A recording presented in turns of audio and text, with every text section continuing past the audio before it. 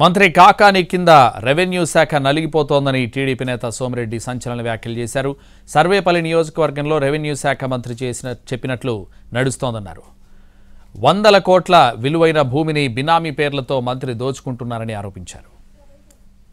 ఈరోజు already land స్కామ్లో ఇరుక్కున్నాడు. ఈరోజు భారీ స్కామ్కి పాల్పడ్డాడు. నేను ఒక్కటి అడుగుతున్నా జిల్లా కలెక్టర్ జాయింట్ కలెక్టర్ ఆర్డీఓ ఐదు మంది తహసీల్దార్లు. ఈ five thousand four hundred forty five acres ఏ విధంగా ఆ బెనిఫిషరీస్ లిస్ట్తో కూడా బయట పబ్లిష్ చేయండి కాకనుకోవద్దంటే నువ్వు మంత్రి అయితే నీకు మీసాలు ఉంటే పబ్లిష్ చేయి.